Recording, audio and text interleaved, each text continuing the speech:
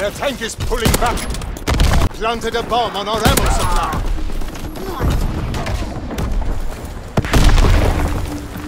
Reinforcements are coming to protect the ammo supply. Disarm